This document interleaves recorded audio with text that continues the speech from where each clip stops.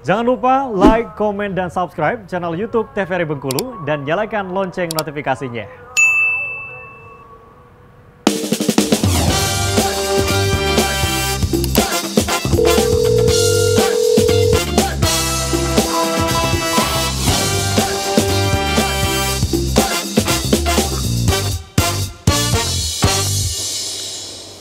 Terima kasih pemirsa Anda masih setia bersama kami di Dokter Kito bersama Kito Sehat.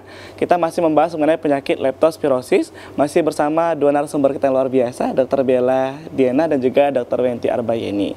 Tadi kita sudah membahas uh, sedikit demi sedikit dok ya mengenai penyakit ini, uh, leptospirosis ini.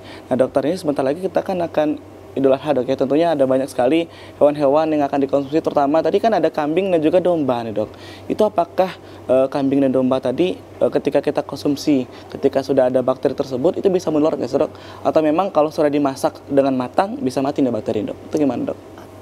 Jadi uh, untuk kambing sama domba, terus hewan-hewan lainnya itu dia itu adalah sebagai hospes perantara namanya ya. Jadi hospes perantara itu adalah yang bisa memperantarai dari tadinya si enggak secara langsung dari tikusnya atau urin tikusnya, tapi karena si domba dan hewan-hewan lain itu dia kena juga sama urin tikus tadi, itu bisa uh, apa namanya? Berarti dengan mengkonsumsi. Ya, gitu ya, cuman kalau misalnya kayak domba kayak gitu kan dia juga bakteri itu kan dia hidupnya ada suhunya juga ya kalau misalnya kita masaknya dengan benar dagingnya terus juga kita uh, apa namanya sebelum kita masak itu kita cuci bersih gitu ya itu juga nggak bisa sampai uh, menyebabkan secara langsung uh, langsung ke mana ke penyakit leptospirosis gitu kan ada tubuh uh, suhunya tempat hidupnya si bakteri berkembang itu juga ada kayak gitu.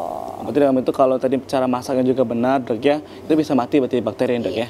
Oke kita akan lanjut lagi bersama dokter Wenti dok di Salindia kita. Lanjutkan ya tadi batas mana? Cara penularannya ya. Jadi selain dari mata, mulut, hidung, jika terkena gigitan atau tergigit binatang itu juga bisa menginfeksi ya kalau ada si bakterinya tadi ya. Tapi kalau kalau misalnya tergigit tikus tapi tikus yang nggak ada bakterinya ya insya Allah aman ya. Tapi ngapain sih gigit tikus ya? Kemudian bakteri leptospira dapat masuk ke tubuh melalui kulit yang rusak, kulit yang lunak karena air, selaput lendir, kemudian atau dengan menelan ataupun menghirup air yang terkontaminasi ya. Jadi penularan dari orang ke orang jarang sekali terjadi dan sampai saat ini belum ada penelitian yang signifikan ya. Nah ini alurnya nih, jadi si tikus kencing nih, kencing tikus tadi. Nah masuk nih di sini ada air atau makanan yang terkontaminasi akhirnya. Lalu masuk lagi menginfeksi, kemudian terkena mata bisa cipratan air ya, misalnya mandi-mandi atau tergenang air kena ke matanya bisa ke mulutnya, ke masuk mulutnya atau tertelan air. Kemudian ada luka terbuka misalnya di kaki, lalu terkena air yang terkontaminasi tadi. Akhirnya terjadilah penyakit tadi, menginfeksi. Itu kalau untuk imunitas dari kita sendiri dok ya, itu berpengaruh nggak sih dok? Apakah dengan imunitas yang kuat kita jadi uh, sulit uh, terkena bakteri ini? Jelas berpengaruh untuk uh, penyebaran penyakitnya. Tadi kan ada yang ringan, ada yang berat. Kalau imun kita kuat, insya Allah mungkin terkenanya yang ringan. Tapi kalau untuk self-limiting disease atau sembuh sendiri agak susah ya, karena kan dia bakteri.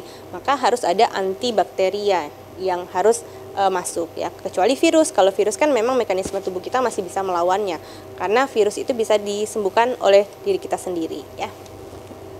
Oke nih, suspeknya. Jadi e, kita akan curiga e, dia terkena leptospirosis apabila satu demam akut tadi ya e, bisa lebih dari 38 derajat atau sakit kepala hebat dengan mialgia, nyeri-nyeri otot, uh, atau juga konjungtiva yang yang kuningan tadi ya dan terpapar lingkungan yang terkontaminasi leptospira. Jadi harus ada terpapar lingkungan yang dicurigai terkontaminasi leptospira. Jadi kayak lingkungan yang banjir atau banyak uh, genangan air ya atau yang sanitasinya jelek dan banyak airnya ya. Kemudian setelah disuspek, kemungkinan yang bisa diperiksa di puskesmas adalah suspek tadi ada gejala ini ditambah dua gejala di bawah ini. Gejalanya apa saja? Nyeri tekan gastrocnemius atau nyeri tekan di perut, kemudian eh nyeri tekan gastrocnemius sorry, kemudian batuk dengan atau tanpa hemaptu atau muntah darah, kemudian iktari kekuningan, kemudian bisa BAB-nya hitam ya, bisa kencingnya ada darahnya atau bisa mimisan ya. Kemudian ada eh, tidak sulit kencing atau tidak ada kencingnya sama sekali, kemudian sesak nafas, kemudian jantungnya yang berdebar-debar atau kemerahan pada kulit. Itu bisa ditegakkan sebagai dari anamnesa dan gejalanya bisa ditegakkan eh, probable atau kemungkinan terjadinya si leptospira dan mengarah ke arah yang berat. Tetapi mirip-mirip juga dok ya dengan Benar. penyakit lain dok ya e, mengenai tadi tuh e, di suspeknya tadi dok ya. Ya, jadi di probable ini harus dilakukan pemeriksaan lanjutan, pemeriksaan penunjang. Biasanya akan kita rujuk ke rumah sakit untuk dilakukan pemeriksaan lanjutan lainnya. Oke, jadi ini ya eh, leptos eh, demam akut tadi ya.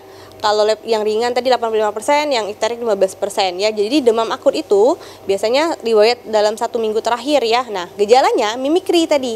Mimikri artinya menyerupai eh, penyakit lain ya, menyerupai demam akut lainnya yang bisa menjadi diagnosa banding.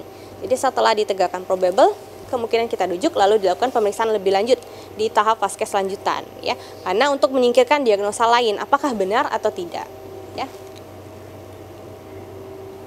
Ini kan demam nih dok ya, kan ada penyakit yang sebelum pernah kita bahas dok ya, demam itu kan eh, per tiga hari nanti turun, terus tiba-tiba Hmm. naik lagi. Kalau ini demamnya khusus nggak sih dok? Apa memang terus eh, stabil Oke, gitu? Jadi demamnya ini tidak khas, bisa bisa eh, continue dia terus-terusan demam atau bisa intermittent. Jadi memang tidak ada ha- kekhasannya. Jadi karena itu tadi gejalanya mimikri bisa seperti gejala demam lainnya ya.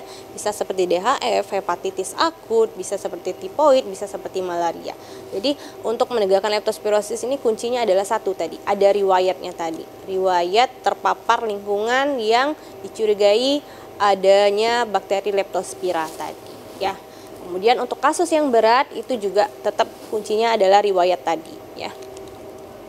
Nah, kenapa sih leptospirosis itu penting diketahui sebagai diagnosa demam akut atau sebagai DD? Jadi kalau ada demam akut kita nggak boleh menyingkirkan si eh, leptospira tadi, harus ditanyakan juga tetap ya.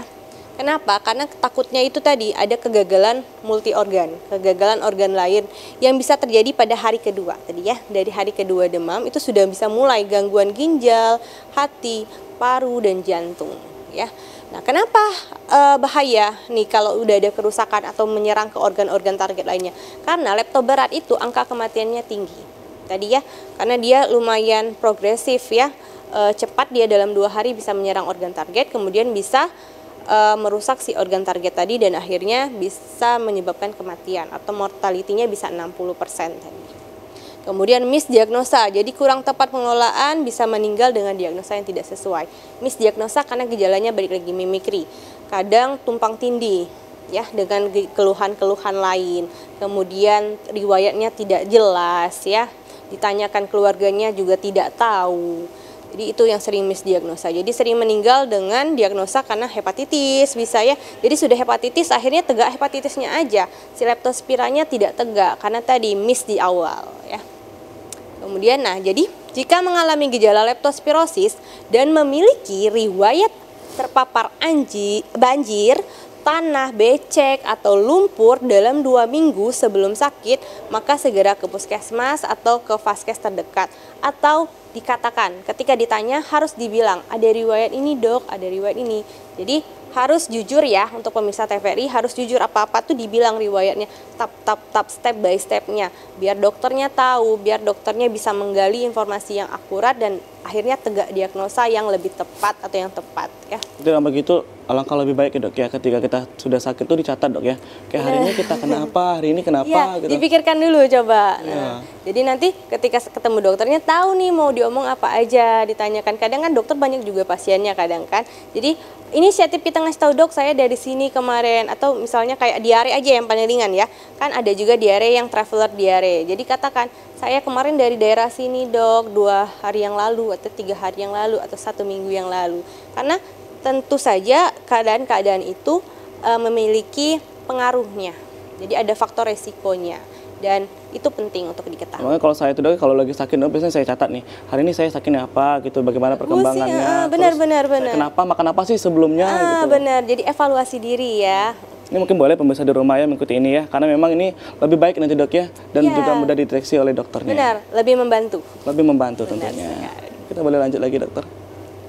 Oke, nah jadi kenapa nih uh, leptospira sering uh, misdiagnosa? Jadi kayak seperti fenomena gunung es ya. Jadi kalau sudah ada satu yang positif berarti di lingkungan itu tercemar ya. Makanya tadi kayak dibilang dokter Bella bisa jadi KLB nih karena jarang terjadinya dan kalau sudah ada satu maka harus diwaspadai daerah daerah itu berarti mempunyai si bakteri leptospira tadi yang kita takutkan bisa berakibat fatal apabila menyer- menyerang organ target tadi ya.